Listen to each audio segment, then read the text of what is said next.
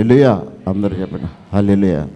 ఆ ఎబెస్సీలకు రాసిన పత్రికలో నాలుగో అధ్యాయం ఇరవై రెండవ వచనంలో కావున మునుపటి ప్రవర్తన విషయంలో మోసకరమైన మోసకరమైన దురాశల వలన చెడిపోయిన మీ ప్రాచీన స్వభావమును వదులుకొని వదులుకుని మీ చిత్తవృత్తి అందు మీ చిత్తవృత్తి యందు నూతన పరచబడిన వారై నీతియు యథార్థమైన భక్తి గలవారై దేవుని పోలిక దేవుని పోలికగా సృష్టింపబడి ఉన్న నవీన స్వభావమును మీరు నవీన స్వభావం దేవుడు ఏమంటున్నారు చెప్పండి? ఎంతకాలము బాబు నీ సీనార్టీ అంటే నిన్ను చూస్తేనే భయం వేసే విధంగా ఉండకూడదు నీ నోటి మాటలు. ఎలా ఉండాలి చెప్పండి? ప్రేమ కలిగిన మాటలుగా నీలో ఉండాలి. చెట్టు పెరుగుతున్నప్పుడు ఎలా ఉంటుంది చెప్పండి? విత్తనము వేసినప్పుడు చిన్నగా వస్తుంది పెరిగిన తర్వాత అది బ్రహ్మాండంగా పెరుగుతూ ఉంటుంది. దాన్ని పెంచే విధంగా పెంచినప్పుడు తిన్నగా వెళ్ళి మంచి ఫలాలు ఇస్తూ ఉంటుంది. లేదా దానికి ఏముందో చెప్పండి గొడ్డలి దాని వేరున పెట్టబడి ఉంటుంది. మంచి ఫలాలు ఇచ్చే చెట్టుకి ఏం చేస్తాం చెప్పండి బాగా ఎరువేసి నీరు పెట్టి ప్రతిరోజు దాని మీదే ఉంటుంది దృష్టి. ఎందుకంటే ఈ చెట్టు బాగా ఫలాలు ఇస్తుంది కనుక బయటికి వెళ్ళి వచ్చేటప్పుడు చూస్తాం వచ్చేటప్పుడు చూస్తాం పని కట్టుకుని దాని గురించి ఆలోచన చేస్తుంటాం. అలాగే దేవుడు తనకు మనకిచ్చిన నూతన బలాన్ని నూతన హృదయాన్ని నూతన స్వభావాన్ని పాత రోత జీవితాన్ని తీసివేసి శాపగ్రస్తమైన బ్రతుకును తీసి ఆశీర్వాదకరమైన ఆత్మ సంబంధమైన వరాన్ని మనకిచ్చిన తర్వాత దినదినము దేవుని సన్నిధిలో నూతన పరసబడిన వారిగా ఉండాలి. మన హృదయం ఎలా ఉండాలి చెప్పండి? దినదినము దేవుని సన్నిధిలో నూతన పరసబడిన హృదయము కలిగిన వారిగా ఉండాలి. అప్పుడు దేవుడు కూడా సంతోషిస్తాడు. ఇదిగో నా కుమార్తె నా కుమారుడు అని. లేదా దేవుడు ఏం చేస్తాడు చెప్పండి? ఎంతో బాధపడుతుంటాడు. ఎంతకాలము నేను చూడాలి ఎంతకాలం నా కుమారుడా నా కుమార్తె అని చెప్పి ఆయన కన్నీరు గారుస్తుంటే ఇక్కడ యాజకుడు అంటాడు ప్రభువా నేను ఎంతో కాలం ఈ చెట్టుకి సేవ చేయాలయ్యా. ఎంతకాలం నేను పాటలు పాడాలి అంతకాలము నేను ఈ కనిపెట్టుకుని ఉండాలి. ఒకసారి చూడయ్యా అంటూ ఉంటాడు యాజకుడు. ఎందుకంటే దానికి చేయవలసిందంతా చేస్తున్నాను కానీ కాపు రావటం లేదయ్యా అని చెప్పి తన యజమానుడికి తెలియపరుస్తుంటాడు. యజమానుడైతే మరి ఒక సమయం ఇద్దాం. ఈ సంవత్సరం కూడా దానికి సమయం ఇద్దాం. లేదా నీవు అనుకున్నట్టుగానే దాన్ని తీసేద్దాం అంటూ ఉంటాడు. కనుక దేవుడికి అంత ప్రేమ ఉంది మానవులుగా మనకు ఎందుకండి? ఎవరన్నా ఏదన్నా అన్నారు అంటే ఏమనుకుంటాం చెప్పండి? వాడి అమ్మటే అయిపోవాలి అంతే. అంతేనా? అమ్మటే అయిపోవాలి. దేవుడు అయి ఉంటే నన్ను వాళ్ళు ఇలాగ అన్నారు ప్రభా. కనుక నీవు దేవుడివే నేను ఎంత భక్తుణ్ణి కదా నీతి కలిగిన భక్తుణ్ణి. నా బదులు నువ్వు అతనికి ఎందుకు తీర్పు తీర్చలేదంటావు? దేవుడైతే అలా కాదు.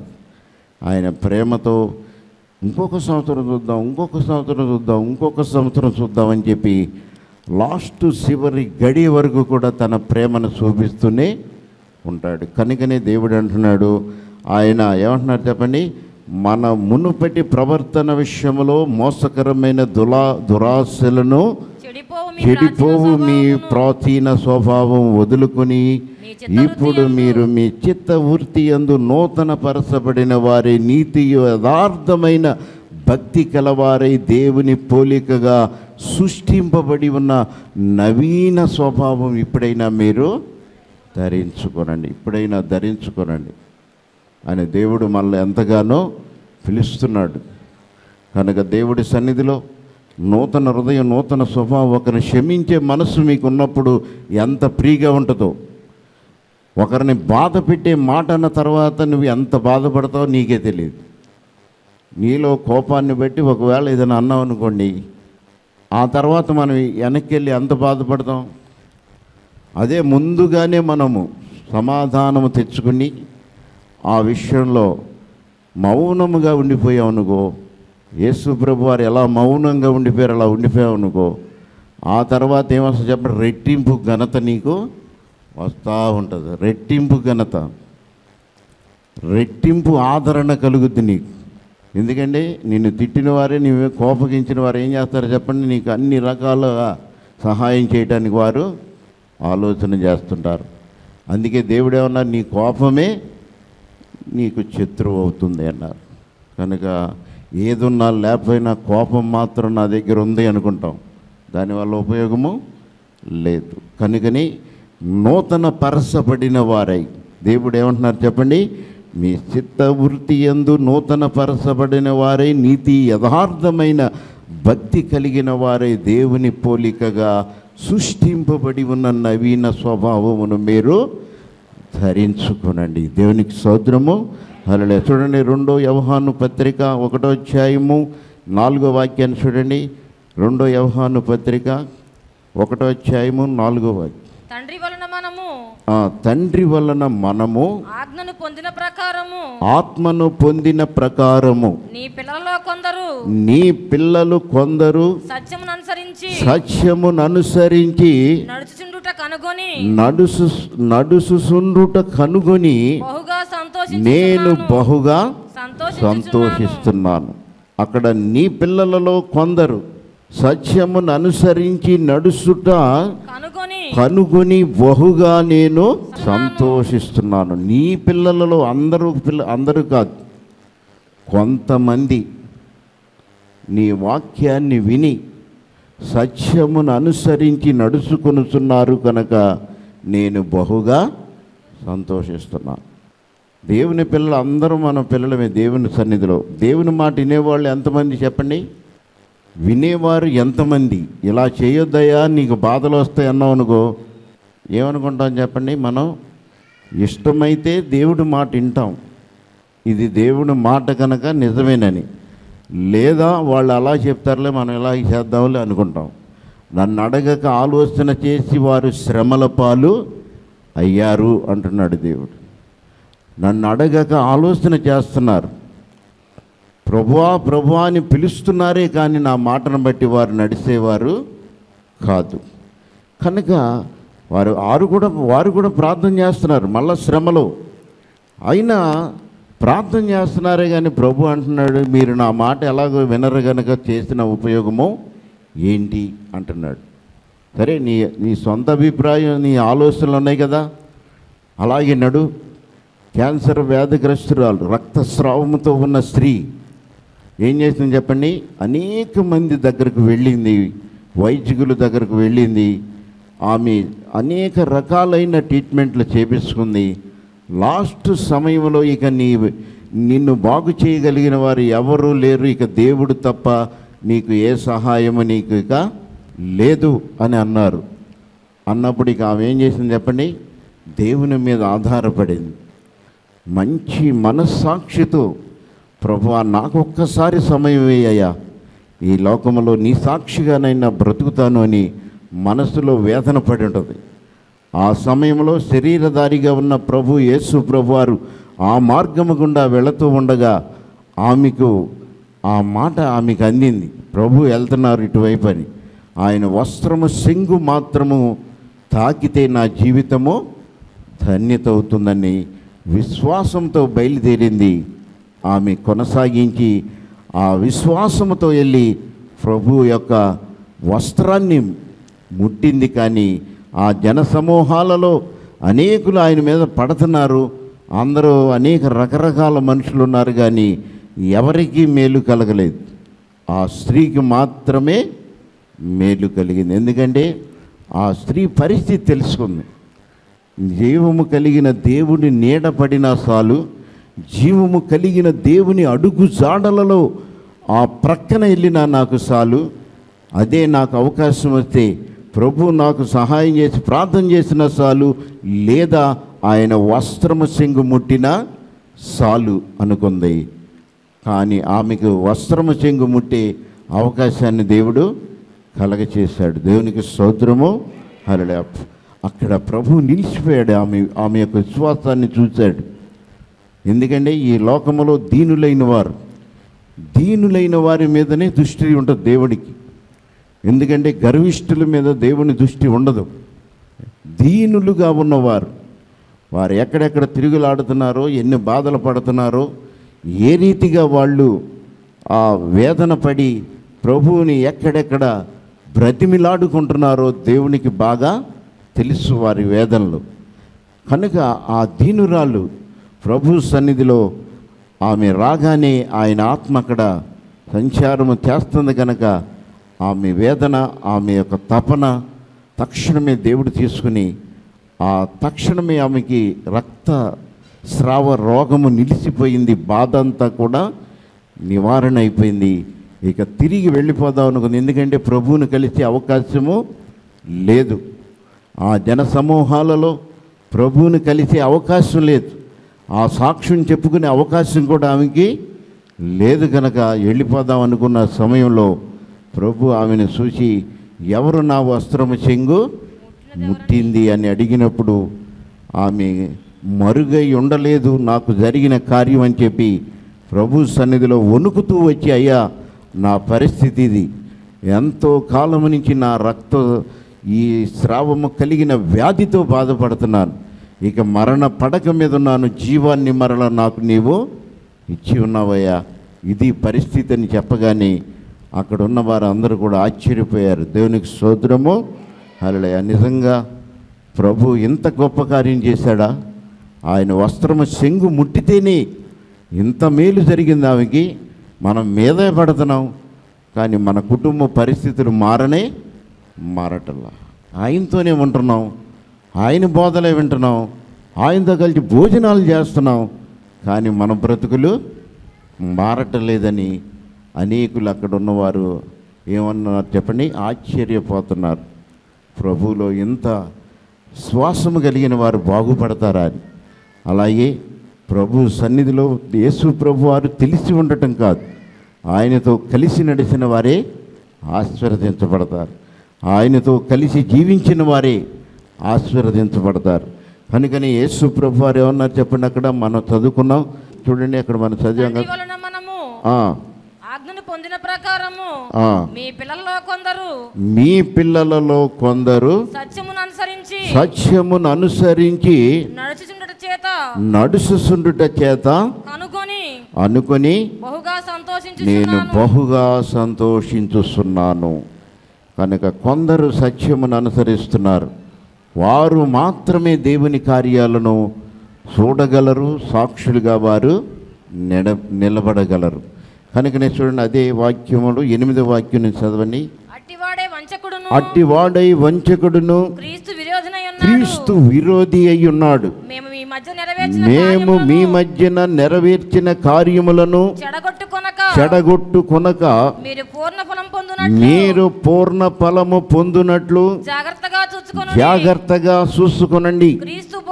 క్రీస్తు బోధయందు నిలిచి ఉండక దాన్ని విడిచి ముందుకు సాగు ప్రతివాడు దేవుని దేవుడిని అంగీకరించనివాడు ఆ బోధయందు ఆ బోధయందు నిలిచి ఉండువాడు. తండ్రిని కుమారుణ్ణి కూడా అంగీకరించువాడు. అంగీకరించువాడు. ఎవడైనను ఈ బోధ లేక మీ వద్దకు వచ్చిన ఎడల వాణ్ణి మీ ఇంట చేర్చుకొనవద్దు. వానిని మీ ఇంట చేర్చుకొనవద్దు. చేర్చుకొనవద్దు. శుభమని వాడితో మీరు వద్దు చెప్పను వద్దు. శుభమని వానితో శుభమని చెప్పువాడు వానితో చెప్పువాడు. వాని దుష్ట క్రియలలో పాలివాడ అగును. కాబట్టి వంచకుడు క్రీస్తు విరోధి లోకములో ఉన్నాడు. ఉన్నాడు. క్రీస్తు విరోధి లోకములో బయలుదేరాడు. దేవుని చేత ఏర్పాటు కలిగిన బిడ్డలను పాడు చేయటానికి ఈ లోకములో యేసు ప్రభు వారు అనేక విషయాల్లో చెబుతున్నారు. నేను మీ మధ్యన చేసిన కార్యములను మీరు ఎన్నడూ కూడా చెడగొట్టుకొనవద్దు. వాటిని మీరు నిలబెట్టుకొనండి. దేవుని సన్నిధిలో విశ్వాసములో నిలబడండి. క్రీస్తు విరోధులు లోకములో బయలుదేరారు. కనుక వారు అనేకులను మోస్తగిస్తున్నారు తండ్రి దేశప్రభు వారి మాటలే చెబుతారు. జీవగ్రంథములో ఉన్న యేసు ప్రభు వారి మాటలే చెప్తారు వాళ్ళు. కానీ వారిలో నా ఆత్మ లేదు. వారి ప్రవర్తన వేరు వారి ఆలోచనలు వేరు. అట్టి వారిని దేవుడు ఏమంటున్నారు చెప్పండి? వారిని మీ ఎంట చేర్చుకొనవద్దు శుభమని వారిని చెప్పను వద్దు చెప్పను వద్దు శుభమని వారితో చెప్పువాడు. వాని దుష్ట క్రియలలో పాలివాడు అగును అంటున్నాడు. ఎవరు ఏమిటో తెలియదు. మీకే సరైన విశ్వాసం లేదు. యేసు ప్రభు చేసినది. మీరు మేలు కలిగిన వారైతే ఆత్మపూర్ణుడిగా ఉంటారు. ఆమె ఏమంది చెప్పండి ఒక స్త్రీ ఏమందంటే తన భర్తను పిలిచింది. ఏమంది? ఇదిగో మన ఇంటికి మన గ్రామానికి వచ్చి వెళుతున్న ఒక దైవజనుడు ఉన్నాడు. అతను చాలా భక్తిపరుడు. ఎవరు చెప్పండి? రెండో రాజులు చూడండి అక్కడ ఎనిమిదవ అధ్యాయములో గనిని ఆ, ఎనిమిదో వచనం. ఆ, ఒక దినమందు ఒక దినమందు ఎలీషా శూన్యం పట్టణంకు పోగా కింద కిందని చదువు కింద చదవండి తన భర్తను పిలిచి మాట్లాడుతుంది చూడు. తన భర్తను ఆమె తన పెనిమిటిని చూచి ఆమె తన పెనిమిటిని చూసి మన యొద్దకు పోవచ్చున్నవాడు మన యొద్దకు వచ్చుసు పోవుస్తున్నవాడు భక్తి దైవజనుడని భక్తి కలిగిన దైవజనుడని నేను ఎరుగుదును. నేను ఎరుగుదును. కావున మనము అతనికి గోడ మీద అతనికి గోడ మీద ఒక చిన్న గది ఒక కట్టించి చిన్న గది కట్టి అందులో అతని కొరకు అందులో అతని కొరకు మంచము మంచము బల్ల బల్ల పీట పీట దీపస్తంభం దీప ఉంచుదము. స్తంభము అతని కొరకు ఉంచుదము. ఉంచుదము. అతడు మన యొద్దకు వచ్చినప్పుడల్లా అందులో బస్సు చేయనని చెప్పాను. పెనిమిటి ఏమన్నాడు చెప్పండి? అట్లాగేనమ్మా నీ ఇష్టం అన్నాడు. ఆమె భక్తిపరురాలు. ఆమె మాట ఆయన కూడా కాదనడు. ఎందుకండి? మరి ఆ మాటను భార్య అంటుంది ఇదిగో మన గ్రామానికి మన ఇంటికి వచ్చి అప్పుడప్పుడు వెళుతున్నాడు చూడు. ఆయన భక్తి కలిగిన దైవజనుడు. అలా అలాంటి దైవజనుడు మన ఇంటికి రావటం ఎంతో మనకు మంచిది. కనుక అతను వచ్చి మన ఇంట్లో భోజనం చేయటమే కాకుండా మన ఇంట్లో పొడుకుని ఆయన ఆయన విశ్రాంతి పొందటం మనకి ఎంతో మంచిది అన్నప్పుడు భర్త నీ ఇష్టం అమ్మా నువ్వేం చేయమంటే నేను అది చేస్తాను అన్నాడు చేశాడు. అలాగే వారు వృద్ధాప్యంలో ఉన్నవారు కనుక వారికి కుమారుడు లేడు అయినను ఆ వంటంది అయ్యా దైవజనుడు మా ఇంటికి వచ్చి వెళ్తే చాలు కానీ నేను అనుకున్నాను. ఆమె ఆయన ఏం చేశారు చెప్పండి? అమ్మా నీవింత శ్రద్ధ భక్తులు నా నీవు కనపరుస్తున్నావు. నీకు ఏమి కావాలమ్మా అని అడిగితే నాకు అన్నీ ఉన్నాయంది. ఆమె చెప్పండి? ఏమి కావాలని ఒకవేళ మనం కానీ అడిగితే మొత్తం అన్ని కోరికలని కోరేస్తాం మనం. కానీ ఆమె అలా అనలేదు. ఏముందో చెప్పండి? నాకు అన్నీ ఉన్నాయ్యా. నాకు ఏది అవసరం లేదండి. అక్కడ పక్కనున్న గెహాజీ తన శిష్యుడు అంటున్నాడు ఈమెకి బిడ్డలు మాత్రము లేరయ్యా ఒక కొరత ఉన్నది. అన్నప్పుడు మరుసటి సంవత్సరానికి ఆమె కవిగిట కుమారుడు ఉంటాడు అని చెప్పు అన్నాడు. ఆ మాటకి అక్కడున్న ఆమె అంటుంది అయ్యా నన్ను భ్రమపరచవద్దయ్యా. ఎందుకంటే మేము వృద్ధాప్యంలో ఉన్నాం. ఇక మాకు బిడ్డలు పుట్టినా పుట్టకపోయినా దేవుని చిత్తం అనుకున్నాం. కనుక మరలా బిడ్డల మీద ఆశ కలిగించి ఒకవేళ పుట్టలేదు అంటే మేము ఎంతో బాధపడతామయ్యా అంటే లేదు లేదు మరుసటి సంవత్సరానికి నీ కౌగిట కుమారుడు ఉంటాడు. దేవునికి సోదరము అలా నీవు జీవము కలిగిన దేవుని కో- దేవుని యొక్క దాసులకు పరిచర్య చేసి ఉన్నావు. జీవము కలిగిన దేవుని యొక్క దాసులకు పరిచర్య చేసి ఉన్నావు. కనుక నీ ఇంటిలో ఎవరిని చేర్చుకోవాలో ఎవరిని ఉంచాలో జ్ఞానము కలిగి ఉన్నావు. కనుకని ఆ దేవుని శక్తి నిన్ను మాట్లాడుతుందమ్మా. కనుక నీ ఇంటిలో ఈ లోపము ఇక నుంచి తొలగిపోతుందని ఆ దైవజనుడు చెప్పిన మాటను బట్టి మరుసటి సంవత్సరానికి ఆమె కవుగిట కుమారుడు కలిగాడు. దేవునికి సోద్రము అలా కనుక అందుకే దేవుడు ఏమన్నారు చెప్పండి? భక్తి కలిగిన దైవజనులు భక్తి కలిగిన విశ్వాసులుగా ఉంటే మనం ఎవరిని చేర్చుకుంటాం చెప్పండి? భక్తి కలిగిన వారిని చేర్చుకుంటాం. కనుక దేవుడు అంటున్నాడు అక్కడ ఇదిగో నేను మీ మధ్యలో అనేక ఆశ్చర్య కార్యాలు చేసి ఉన్న క్రీస్తు విరోధులు ఈ లోకములో బయలుదేరి ఉన్నారు. మేము మీ మధ్యన నెరవేర్చిన కార్యములను మీరు చెడగొట్టుకొనక వారితో మీరు ఏమన్నారు చెప్పండి? వారు మీ ఇంట చేర్చుకొనవద్దు. వారు వచ్చినప్పుడు శుభమని కూడా వారితో మీరు సెకండు ఇవ్వవద్దు. సెకండ్ కూడా ఇవ్వద్దు అంటున్నాడు అక్కడ దేవుడు.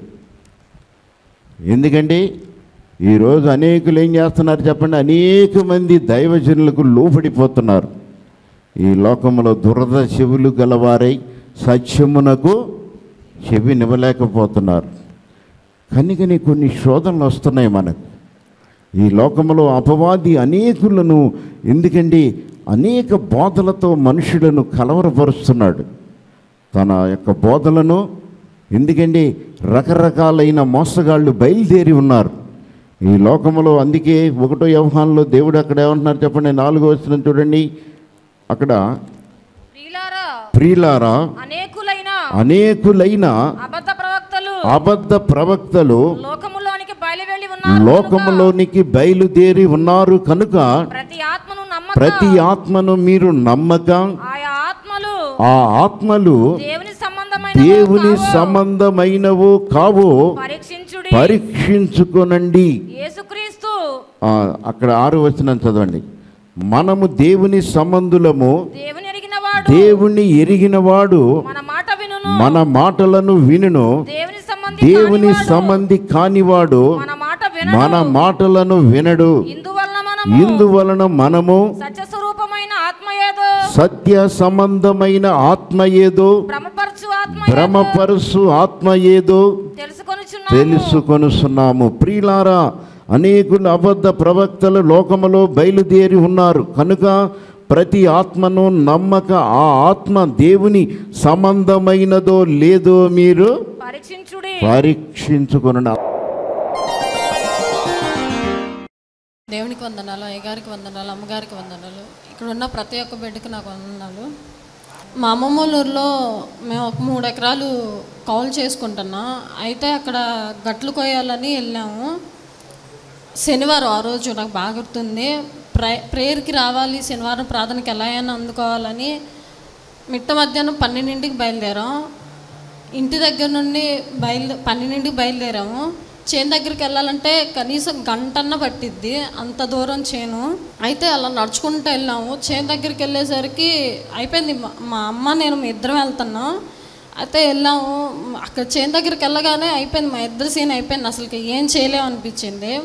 కానీ వెళ్ళాక మా అమ్మ పరిస్థితి మరీ ఘోరంగా అయిపోయింది. ఎలా అంటే ఓపిక లేకుండా కింద పడుకో కింద పడిపోవటం కింద కూర్చోవటం నా వల్ల కాదంటాం. మా అమ్మని చూసేసరికి నాకు భయం వేసింది. సర్లే నువ్వు నువ్వు కూర్చో అమ్మ నేను చేస్తానని కొంచెం దూరం కట్టుంటే అది కోస్తున్నాను. కోస్తుంటే చేయి తగ్గింది నాకు బ్లడ్ చూస్తే టెన్షన్ వచ్చేసింది. ఫస్ట్ టెన్షన్ని తట్టుకోలేను. ఇక ఆ బ్లడ్ని చూసేసరికి భయం వేసేసేసింది. ప్రేయర్ చేసుకున్నా డాడీ ఏం డాడీ నాకు బ్లడ్ అంటే భయం డాడీ ఏంటని ప్రేయర్ చేసుకున్న తర్వాత గడ్డి తీసి చే- ఆ రసాన్ని చేతి మీద పోసుకుంటే బ్లడ్ ఆగిపోయింది. కొంచెంసేపు కోసిన తర్వాత ఇంటికి వెళ్దాం రామా అంటే నువ్వు నడువు నేను వస్తాను అంది. సర్లే కదా నీ ఇద్దరు నడుచుకుంటూ వెళ్తుంటే అమ్మ అలానే నడుస్తూ ఉంది నేను అలానే నడుస్తూ ఉన్నా. నుండి ఒక్కసారిగా గుండె స్పీడ్ కుట్టేసేసుకోవడం కళ్ళు కనపడకుండా బ్లాక్ అయిపోవడం కళ్ళు తిరిగిపోవడం. ఒకసారి ఇలానే నా రెండు వేల పదమూడులో నాకు ఫీవర్ వచ్చింది. అది బాగా బ్లడ్ ఇన్ఫెక్షన్ అయిపోయి ఫీవర్ వచ్చింది. అప్పుడు హాస్పిటల్లో చూయించుకున్నప్పుడు చెప్పారు. సేమ్ అలానే ఇలా జరిగేసరికి నాకు భయం వేసింది. డాడీ ఏంటి? నా కళ్ళు తిరుగుతున్నాయి. నేను పడిపోతాను. మా అమ్మ ఇలా ఉంది. మా అమ్మ పరిస్థితి కూడా బాగాలేదు ఇప్పుడు నేను కళ్ళు తిరిగి పడిపోయానంటే మా అమ్మ ఇంకా తట్టుకోలేదు. ఇక నా విషయంలో చాలా ఇదిగా ఉండిద్ది. ఇలా ఇంటికి వెళ్ళాలి ఎలాగైనా ఇంటికి వెళ్ళాలి చుట్టూ చూస్తుంటే ఎవరూ లేరు. ఫోన్ చేయడానికి ఫోన్ లేదు. ఏం చేయాలో అర్థం కావట్లేదు. ఐదు నిమిషాలు అలా కూర్చొని ఆ నీళ్ళు అవతల చేలో నుండి ఇవతలకి నీళ్ళు వస్తున్నాయి. ఆ నీళ్ళలో అలానే కూర్చొని ప్రేయర్ చేసుకున్నా. ప్రేయర్ చేసుకున్న ఒక ఐదు నిమిషాలకి నాకు కొంచెం బలం వచ్చింది. ఇలా అలానే దేవుడి పాటలు పాడుకుంటా అమ్మ నేను ఇద్దరు ఇద్దరికి ఇద్దరు అమ్మ నాకు నేను అమ్మకి పద పద అని చెప్పుకుంటా. ఇంటికి వెళ్ళాము. ఎలాగైతే ఇంటికి రావడానికి శక్తి ఇచ్చాడు సజీవం లెక్కలో ఇప్పుడు నేను ఎలా ఉన్నంటే అది దేవుడు దేవుడిచ్చిన ఉచిత కృప ఈ గొప్ప సాక్ష్యం దేవుడు దీవించిన గాక. అలాగే నా తండ్రి గురించి ప్రార్థన చేయండి. నేను మా అన్నయ్య మా అమ్మ వస్తున్నాం. అలాగే మా తం నా తండ్రి కూడా ఇక్కడికి రావాలని. ఈ సన్నిధికి వచ్చాకైతే నా కుటుంబంలో శాంతి సమాధానాలు ఉన్నాయి. మన నా నా తండ్రి కూడా తాగుడు మానేస్తున్నాడు. చాలా తగ్గించాడు. చాలా వరకు అంటే చాలా తగ్గించాడు. ఇంతవరకు తాగొస్తే కొట్టుకునే వాళ్ళు రక్తపాతాలు అయ్యాయి కానీ ఇప్పుడు అలాంటివి ఏం లేవు. తిట్టడం కూడా తగ్గించాడు. మొత్తం తాగుడు అనేది పూర్తిగా మానేసి నా తండ్రి కూడా ఈ సన్నిధిలో నిలబడాలని నా కుటుంబం మొత్తం ఈ సన్నిధిలో నిలబడి సాక్ష్యం చెప్పుకోవాలని మీ అనుదిన ప్రార్థనలో నా కుటుంబాన్ని ఒకసారి జ్ఞాపకం చేసుకోండి. ఈ గొప్ప సాక్ష్యం దేవుడు దీవించిన కాక